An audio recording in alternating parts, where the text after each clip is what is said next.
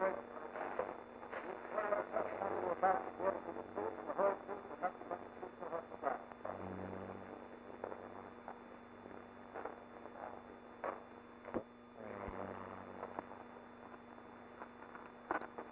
state your name. Richard L. Sakakida. Your age? 25. Your nationality? Japanese.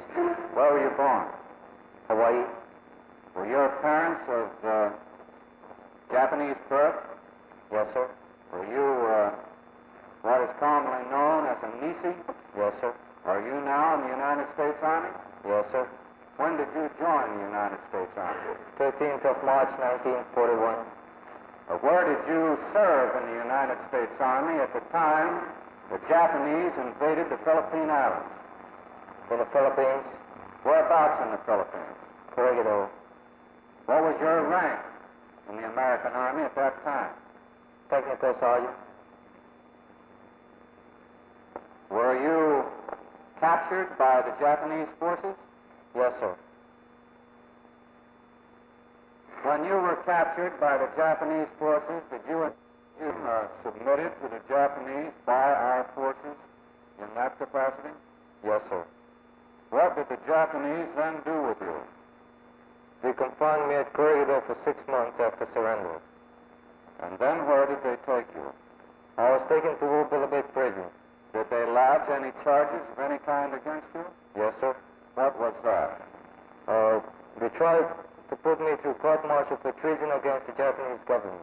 And why didn't they tr- not? Why didn't they try you for treason?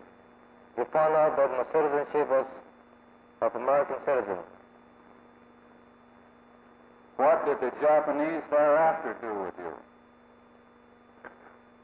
They took me to the general headquarters and put me to work as interpreter. Uh, when did they first put you to work as an interpreter? On February 1943, Were you working as an interpreter? the headquarters of General Yamashita, In what section of the headquarters of General Yamashita? uh, Judge Advocate's office. Does that section correspond with what we call the Judge Advocate General's Department of the American Army? Yes, sir. Was General Yamashita's headquarters known as? The 14th area headquarters. Was it the Army headquarters? Yes, sir.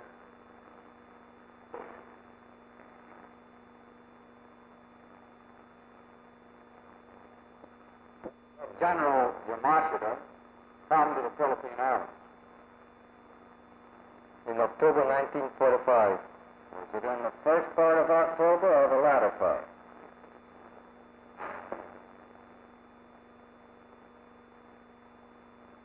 I beg your pardon, it's uh, October 1944. Why did they gather everyone alongside of the road? Well, it was the general's arrival and